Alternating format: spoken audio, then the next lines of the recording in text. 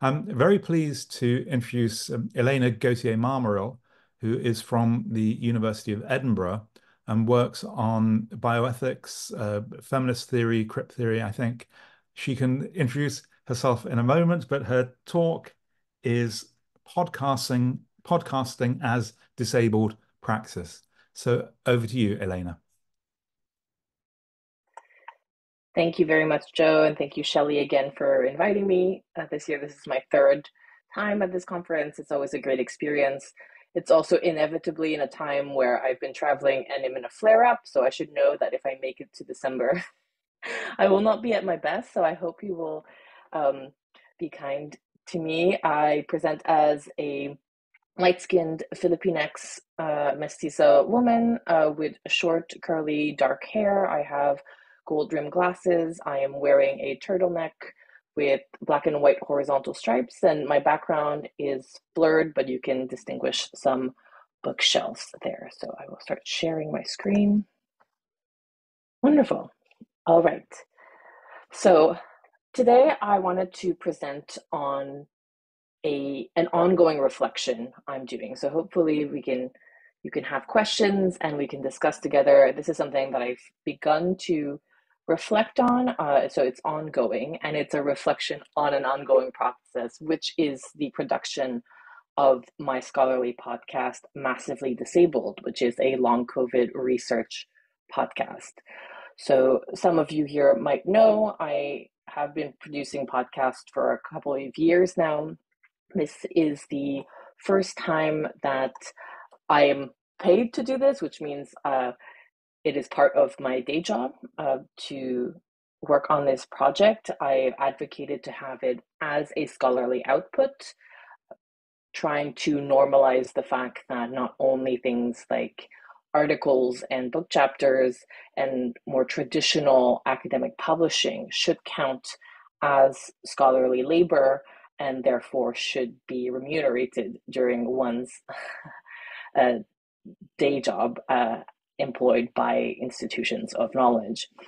And so I want to reflect on how making massively disabled has allowed me to explore in a playful way, hopefully, what the format of podcasting can tell us about disabled praxis, about practicing knowledge making, practicing philosophical knowledge making as a disabled person and how this intersects with other knowledge we have from disability studies, uh, critical disability studies, and etc.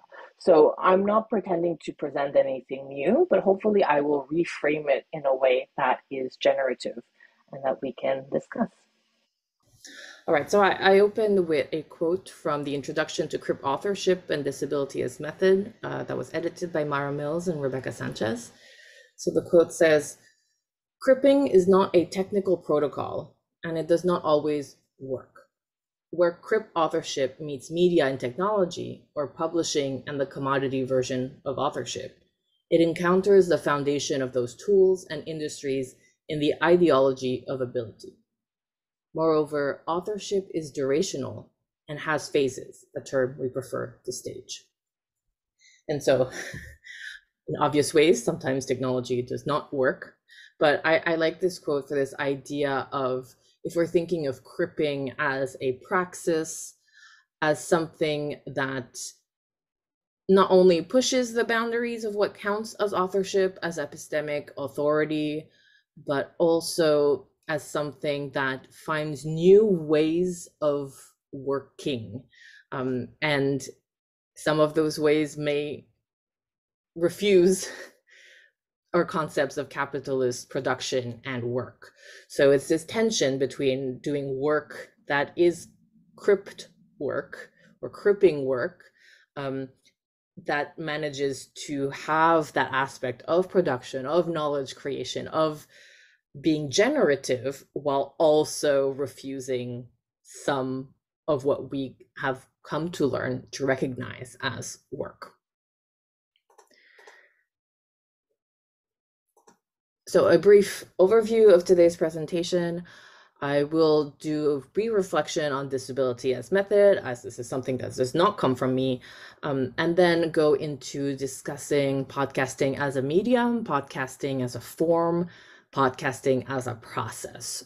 So all of these categories are porous, but I did want to have some distinctions to try and understand because not everyone is familiar with what a podcast is, or you may not be an avid podcast listener. So I wanted to break it down a little more.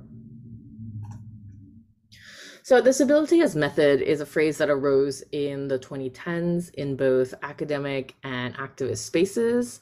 So, it is also a term that I like because it does not really only belong to academia.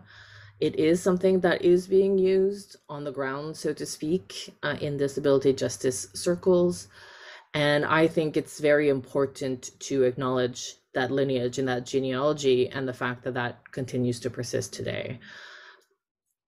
Arseli Dokumaci, who is the Canada Research Chair for Critical Disability Studies, uh, said in 2018 uh, that there are new possibilities of media making informed by blindness gain when she was doing her own work. And so Dokumaci really looks at technology and how media and communication can help us explore the generative aspects of disability and of disabled living that produces opportunities to hack, to create, to bypass, uh, to subvert certain knowledges. So, this idea of disability as method, which can be used in anthropology and sociology and lots of different spaces, for me really came to head when I encountered it in conjunction with communication studies and technology.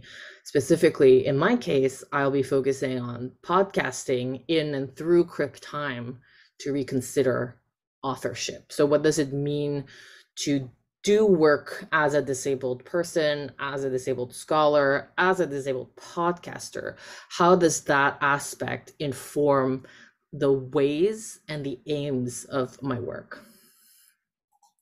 And this is a second long quote that I love. It's from originally from the New Inquiry magazine in 2014, but I encountered it cited by Jerry Das in Survival of the Sickest, The Art of Martin O'Brien. Martin O'Brien is a British performance artist who is queer and has cystic fibrosis and uses his physical condition as part of his art, but also uses his interactions with the medical environment as part of his art to kind of trouble the idea of his presentation as seemingly an able-bodied buff gay man um, and with his sickness and his interactions with medical equipment and so this quote says being sick changes your relation to your body and how you inhabit it. As an experience, it is stubbornly untheoretical, even though it oozes theory, infecting concepts of cleanliness, system, and body with its disorder. Mutated understandings proliferate from sickness that lands falsely clear categories, revealing the orderliness of the world to be a form of disease. What is clear is that clinically treating biological pathogens as the sole source of corporeal trouble is an efficient way to wipe clean the structures that weigh on our lives. So I could spend the whole talk unpacking this, but briefly, I like this idea of being stubbornly untheoretical, even though oozing theory.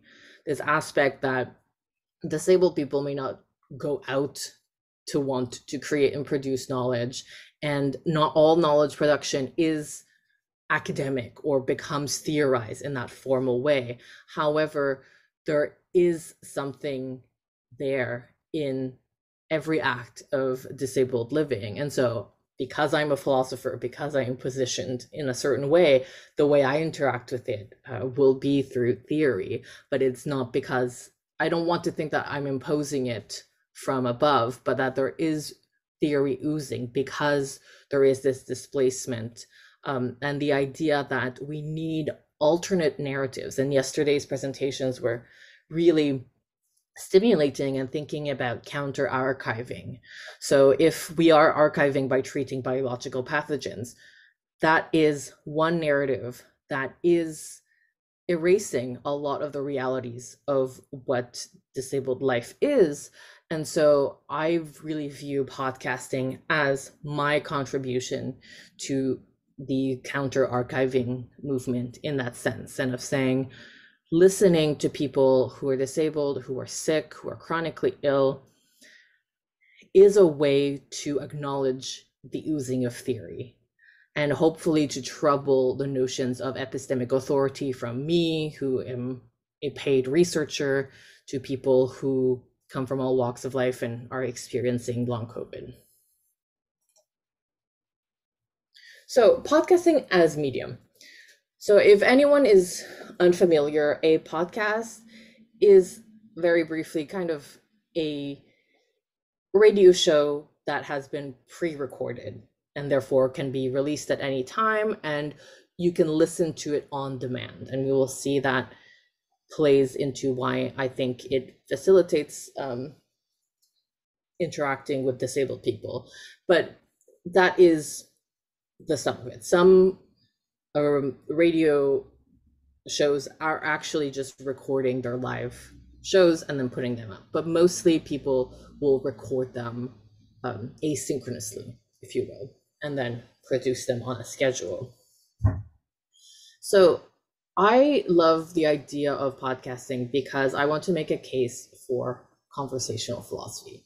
I'm a Platonist in only one way. Okay, probably more than one, but this is the one I will freely admit to.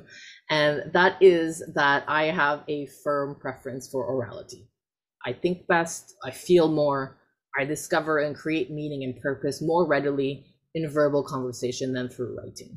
Writing is hard for me. I, it's not the way I love to express myself. By this, I don't mean to elevate speech over other forms of communication on principle. But my particular body mind expresses itself most joyfully through speech. And it prefers most of the time to interact with ideas auditively. the combative, argumentative style of debate was never what appealed to me in philosophy. It was the intimate conversations, the collaborative folding and unfolding of ideas and affects that spurred me to pursue more and more opportunities to research, which led me to do a PhD and then choosing to enter the murky waters of academic employment. This is not to say that intimacy does not allow for thorny, painful, and complex ideas. We are, after all, most likely to be deeply hurt and damaged by the people closest to us, which brings a certain level of responsibility in the production of all podcasts, I find, but especially if we're positioning it as a scholarly podcast, as a research podcast, there are similar levels of notions of responsibility you would have, like citing your sources, etc. But there's a different ethos that comes when you're in someone's ear um, and thinking about how to responsibly share your knowledge. I suppose that I'm trying to say, probably a little defensively, is that conversational philosophy does not shy away from important philosophical topics, nor does it lack rigor. But maybe it does lack rigor. Maybe what I like about it is that it fundamentally belongs to a different disciplinary world in the sense that a different form of discipline applies to conversational philosophy than to adversarial philosophy. And this is the discipline, the praxis, the habitus that I'm exploring. So there are multiple levels of interdisciplinarity going on. Uh, this idea of the discipline of podcasting, which is a world in of itself, which has its own conventions. There is the aspect of talking to people from other disciplines to me, but also translating knowledge to people who are not familiar with academic or philosophical jargon.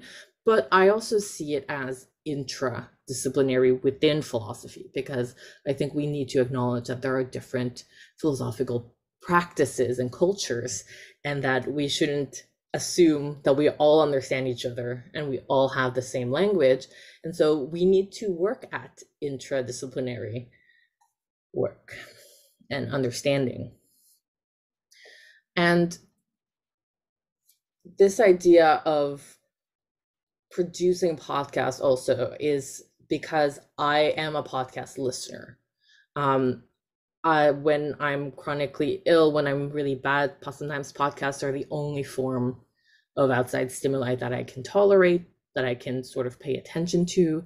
I've learned, I've been entertained, I've been, I've found companionship through podcasting. So me deciding to produce my work, my research through this medium was also a reflection of me participating in that medium. So for me, it was an extension of something that felt it was a part of my world. It wasn't kind of an additional task I had to do to do knowledge translation.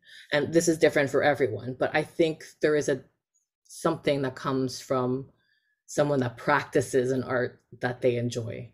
Um, and finally, I do think that podcasting can be a means to facilitate knowledges of care. I talked a little bit about intimacies. Um, there's definitely the whole idea of parasociality uh, with podcasts. I don't pretend that doing a research podcast is what gets you the most parasocial engagement. But still it is a possibility people reach out to you people who are not in your circles people who see you as a comforting voice in their ear. Um, so it's this idea of how do we produce philosophical knowledge philosophical inquiry? How do we open up the research process in ways that facilitate knowledges of care as opposed to different ways of performing expertise and authority. So I spoke to this a little bit, but the form of podcasting allows me to explore what Danielle Spencer calls the three pillars of narrative medicine. So that would be interdisciplinarity, narrative attentiveness, and the writerly text. Firstly, there are many forms that a podcast can take beyond the common factor of being an audio recording made available at will. The most common formats include solo podcasts, co hosted podcasts, game show podcasts, reality show podcasts, long form interview podcasts like Philosophy Casting Call, that I also do, and more radio show like podcasts where shorter clips are spliced into a voiceover narration, which is what I chose to do for Massively Disabled. All of these formats can be used to produce fiction and nonfiction content alike. A solo podcast that is hosted by one person speaking directly to the audience can be anything from a personal diary to critical cultural analysis. It can also be used for storytelling. In Massively Disabled, I showcase my work as interdisciplinary work. This includes my use of sources from across the philosophical, historical, medical sociology spectrum, as well as the range of my interviewees' backgrounds and expertise. But I would like to take some time to reflect on how this project has allowed me to delve deeper into intradisciplinarity within philosophy. There was something rebellious in my embrace of the episodic, one can say Cartesianally meditative format of the six episode arc. I will admit I thought about the Cartesian method meditations after I decided to do six episodes for Massively Disabled. But I like this idea of reclaiming that 17th century form of knowledge where Descartes is presenting to a very serious body of knowledge, the uh, Parisian Academy of Sciences. And he chose to talk about sitting in his bathrobe and telling you about his dreams. Like, this is how he chose to portray and to share his philosophical insights on metaphysics and epistemology. So I I would like to think that I'm this is my 21st century version of that of reclaiming that sitting in your bathrobe in front of the fire uh, performance of philosophical authority. I chose to foreground in progress exploration without relinquishing my epistemic authority. Instead, I played with the veiling and unveiling involved in epistemic humility. Podcaster Kristen Meinzer says that you must choose what and when you reveal yourself to the listener. Having a sense of intimacy, of parasociality, is an important aspect of consuming and engaging with podcasts. It is a form that encourages expressions that are deemed unseemly in other formats. We can hear guffaws and linguistic idiosyncrasies that are absent from academic essays, for example. But there's also an opportunity to showcase the performance of authenticity in a way that is different from an Instagram post or, a tweet. Because you are in someone's ear, because you can create a soundscape to people's lives, to their commute, their chores, their waiting at the doctor's office. You can play with that philosophical conversation, that conversational philosophy. There is a podcasting discipline. As a genre, it has its own conventions, even if it doesn't have strict rules. I can always tell when an institution or an academic produces a podcast but has never listened to one before. No avid podcast listener would think it's a good idea or enough for promotional needs to record a 60 minute lecture and put it online unedited. Podcasts are not just a vehicle for information. If you stood on a subway platform and handed out printed versions of your paper, would you expect to get much traction, for example? Um, open and accessible scholarship absolutely depends on material realities such as cost and availability. But putting some audio for free on the internet is not the remedy to all knowledge translation ills. Podcasts lend themselves beautifully to crip time. They can be picked up and put down, binged or selectively engaged as you move through your life in ways that the written text cannot follow you. It is very difficult to read with your eyes while you are washing your dishes or when you are lying in total darkness to rest your aching body. But podcasts can be there for you.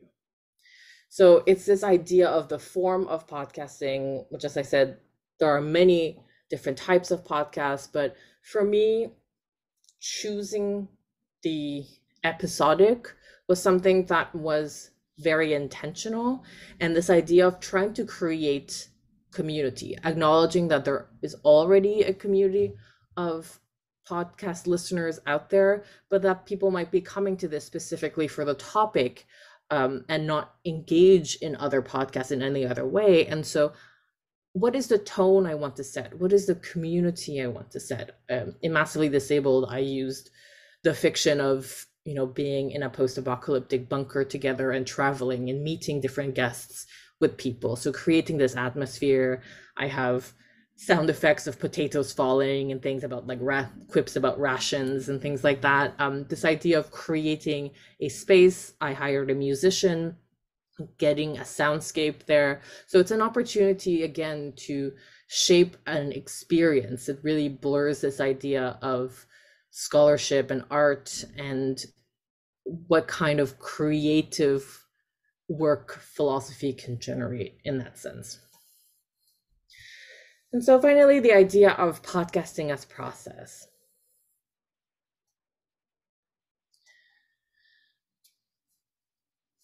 So I wanted to describe podcasting as a form of sco- slow scholarship in a job application, but my manager, when she was reviewing it, said, "What does that mean? No one will understand what you mean." So I scrapped it because I was exhausted and on a deadline and had to chop off my word count mercilessly. Still, it stayed with me. In many ways, podcasting is a very intensive process. So it might seem paradoxical to call it slow, but it's very intense. Uh, I'm dragging it out over months because I'm doing everything myself crafting research questions, researching, finding interviewees, scheduling pre interviews and recordings, making consent forms, and editing. This time I hired someone to compose the sound design, but that also meant going through a hiring process. But then the podcast drops and everything speeds up. So, how is this slow scholarship? It can take months or years to research and write a journal article. I think that scholarly podcasting lands somewhere in between a conference presentation and an article. It is a concrete, non ephemeral output, but it reflects in process thinking. Well, at least that's what a lot of my conference presentations are. I understand that some people only present final results, but what is the fun in that? The difference with podcasting is that I'm aiming for working towards the in process. The finished object is intentionally unfinished. So, this idea of the in process as telos. This is not to say that it's not polished. On the contrary, a lot of thought goes into crafting a coherent and comprehensible narrative.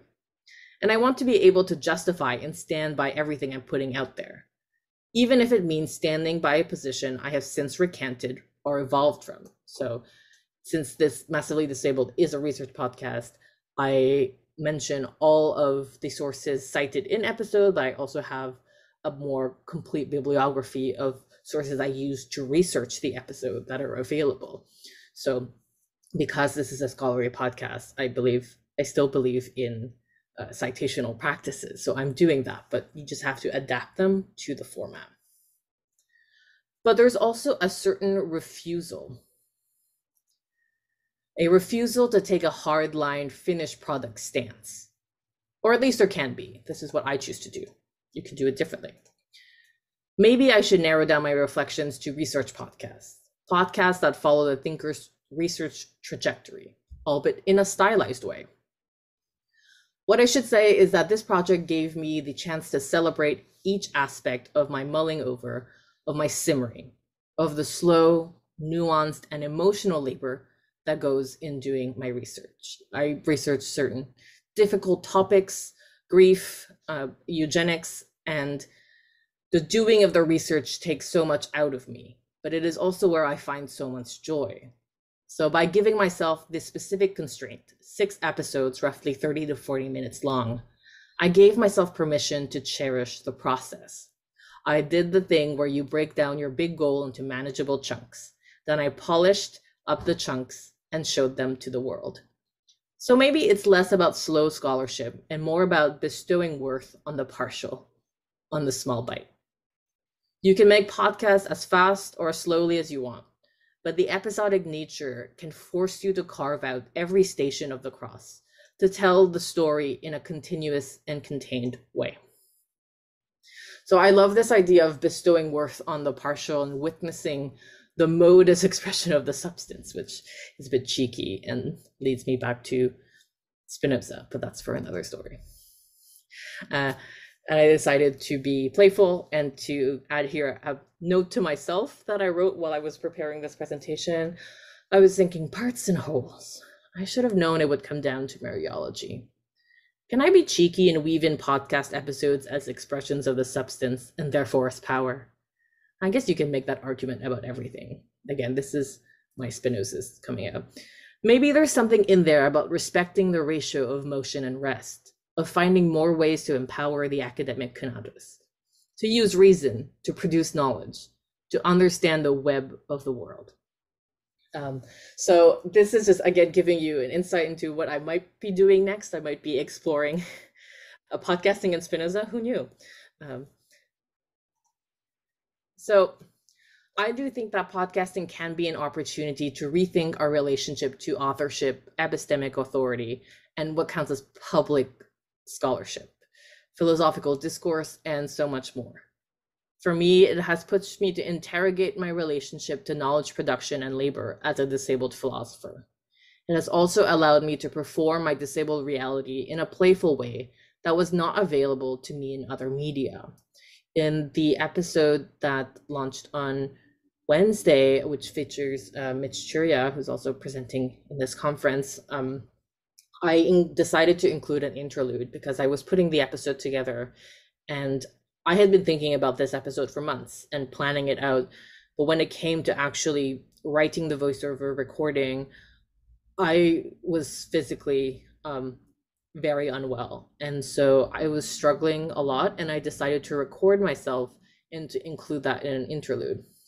And, you know, you go back and forth about whether this is appropriate. Um, and I decided to do it. And the most important decision is that in that episode, Mich and my other guest, Felicity Callard, um, were both expressing some very vulnerable things about being disabled scholars. Um, and one of my efforts to combat extractivism in that scenario was to be open about my own material conditions. We talk about material conditions to co-production and research in that episode. And I was like, I'm doing research. I'm affected by my material conditions. I should vocalize this. And this is something that podcasting allows you to do. And I recognize that it's a very privileged position to be in. Um, but because I formatted this as a disabled philosopher doing philosophy of disability, and because right now, even though it's a contract, I am salaried, I do have that position, I can be open about this. I recognize that not everyone can or wants to put themselves in that position, but I chose to say, listen, I'm offering my listeners uh, an insight into these two wonderful disabled scholars, and I don't want to erase uh, the fact that my disabled labor went into this. Um, so that's that's an opportunity that I don't. You can do. You can see people put interludes. I know uh, Sami Schalk did that in uh, Black disability politics, for example, and that's wonderful. But for me, it was really a different way of trying to engage in ethics of responsibility and accountability to my guests, my listeners, and the disabled people that will interact with this product. And so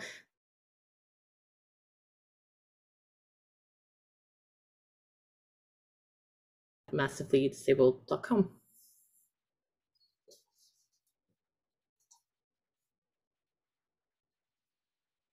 So thanks so much, Élaina. Fascinating talk and so many questions. I love this idea of Descartes as a sort of proto podcaster. And of course, it makes you think of everyone maybe who wrote in dialogue form might well have been a podcaster if that had been available. And that's quite a distinguished group of philosophers there. Um, so we have some questions. Um, you, you, can open the Q&A yourself, Élaina, so you can read it, but I, will read out the questions as they come. So uh, first one, oh, and let me also remind the participants, you can upvote. You can see the thumbs up. So if there's uh, if there are a lot of questions and you particularly would like one to be asked, upvote it and then we'll give it priority. First one from uh, Lizette. What do you think podcast hosts need to do to make sure their podcasts are accessible to all, both guests and listeners? Providing transcripts might be an obvious step to take, but I'm particularly interested to know whether you think there are aspects of podcast accessibility that are less often discussed. Yes, thank you so much for your question, Lizette. Um, I think, like everything else, you have to be clear about what your aims are and who your audience, who your intended audience is. Then you can readjust if for some reason you happen to uh, have an audience you did not expect. But I think, for example, one thing would be to explain uh, jargon words and things like that if you're coming up or to reframe some things that your guest says in voiceovers or if you're having a live discussion to do that. But i also think there are some choices that need to be made. For example i worked on a wonderful podcast called speak by being studio in ottawa which is an art studio for artists with developmental and cognitive disabilities and so there was a lot of discussions about how do we center the artist and do not speak for them. And uh, there was one case of an artist who was non speaking, and we hired a voice actor who was blind. And then we had five people on that Zoom call to try and make it happen. But we figured out a way so that the voice actor and the artist could work together in the end. And now they're applying to grants um, with minimal support on, on their own. And so in that case, it was an idea of not thinking, oh, this is too hard. We have a non-speaking artist. This, this is an audio medium. Um, or like, no, we want to showcase this artist's work and what she has to say. And so we're going to find a way. So it's this idea of not giving up because it doesn't fit neatly. You can't just put the microphone in front of someone and let them record. Uh, you have to figure out, you have to put in the time and labor to make that work.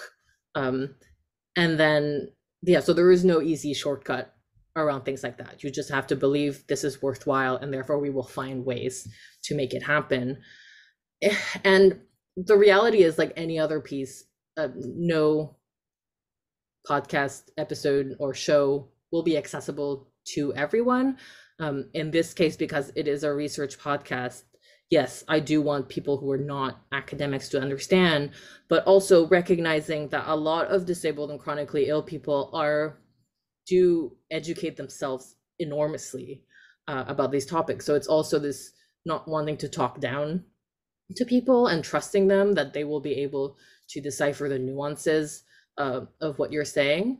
So I think, yeah, you have to be aware of who your audience is. And I think the last thing I'll say is making yourself available. So I always have a podcast specific email people can uh, write to and social media profiles that they can write to. So obviously, if people have questions or they want to clarifications and things to make, I think being a podcaster is also making yourself available to answering those questions. Thanks so much. So there's a question from Shelley um, that is in the chat, but I will read it out. Um, how would you, in brief, distinguish your format of philosophy podcasting and the format of other philosophy podcasting? Oh, uh, that's large because there's so many um, others. I think when I was trying to do is, you know, I'm not an investigative journalist, but I wanted to give this feel of bringing people in on my research journey. So obviously I've done a lot of research and reading behind every episode, but it's this idea of thinking right now I'm a philosopher looking at long COVID, which is an ongoing phenomenon. And I'm not someone who is in a lab doing biomedical tests. So it was also making my case to my audience of like why should i be speaking on this why should you be interested in what philosophers have to say what historians have to say about something that is ongoing now um, so for me it was really making the process of doing this research come alive and sharing that with my audience. So I think what I at least tried to do to differentiate myself in this particular project was not to say, I'll do all the research and then I'll give you, I'll present answers, or I will position myself as the expert that has solutions. I'll position myself as an expert in the sense of someone who has a lot of knowledge and skills and analytical skills to do this, but as someone who acknowledges that things will change in two years. I might have different views on this and being open about the procedural aspect of doing research. So that was at least my intention. Okay, thanks. So we've got a number of questions coming up. So, um, Élaina, maybe appreciate short answers so yeah. we can. Yeah, sorry, I'm trying to trying to put that delicately. Um, uh, so here's one from Luana. Um, I've been listening to your podcast since yesterday, and it's very impressive. I wonder if you could say a bit more about how you got the institutional academic support for your podcast sustainability.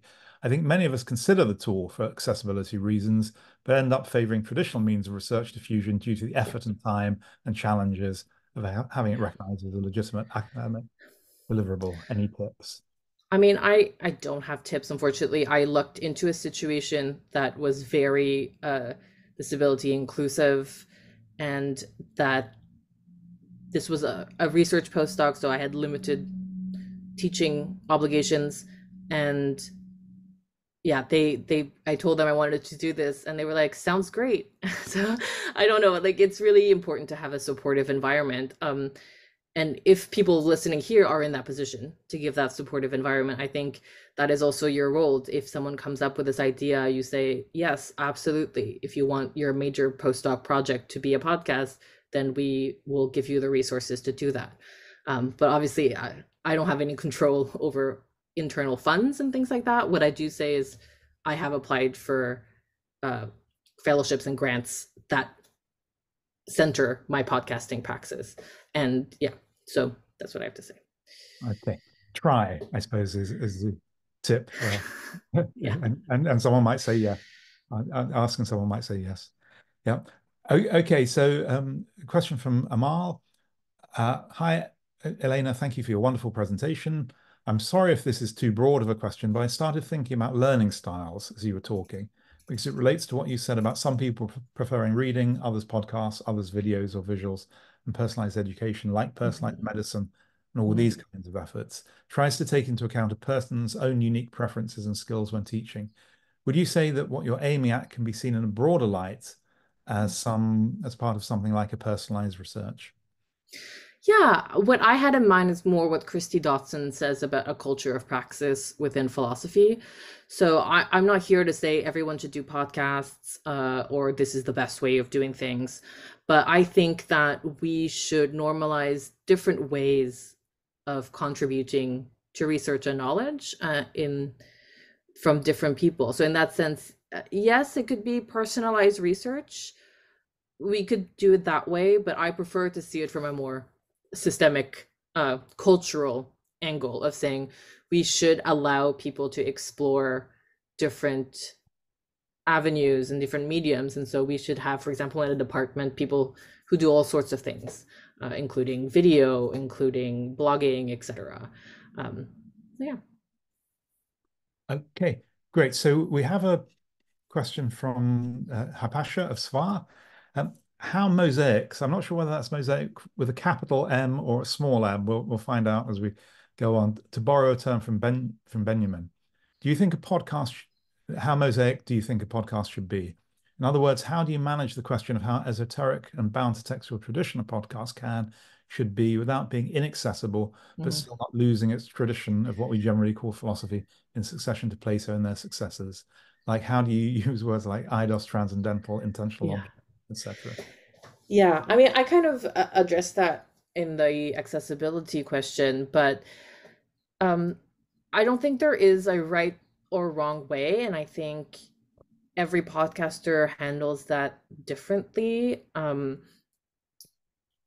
if if I am going to be using a term that comes up a lot, like I I use eugenics in my first episode, I explained what that means. I explained what I mean by cripistemologies, things that I know I will be using a lot um, in my show. And obviously, if a guest comes on and uses a term, I either ask them live to define it or I do it in post uh, with a voiceover.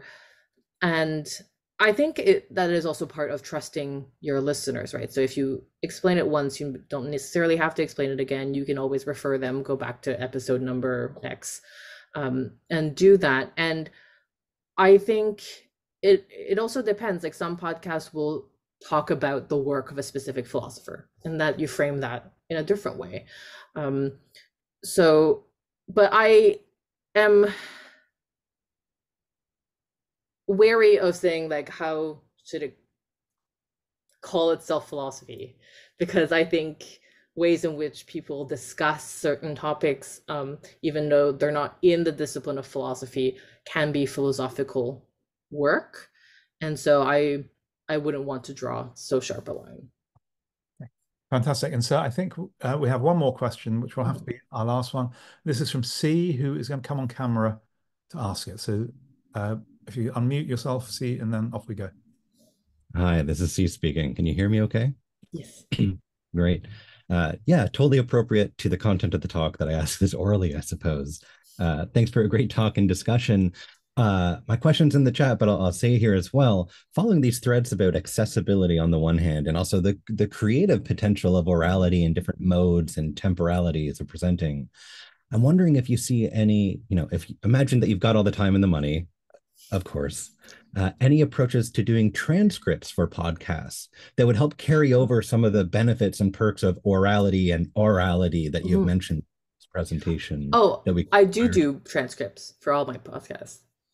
Yeah, yeah, but what might carry? So you've outlined some specific things that are really useful about the uh-huh. oral approach and mm-hmm. this kind of. I'm Wondering if there's anything you think we could do creatively about transcripts that might help bring some of those benefits across for the people who engage podcasts that way. Does that make sense? Do you mean like how to edit the transcripts to capture that orality or? Can i edit, jump in here? So, so one thing i found from having transcripts of my own informal chat is, is that sometimes transcripts read like i make no sense at all. Because you, know, you use repetition you use volume you use pausing rarely complete a sentence.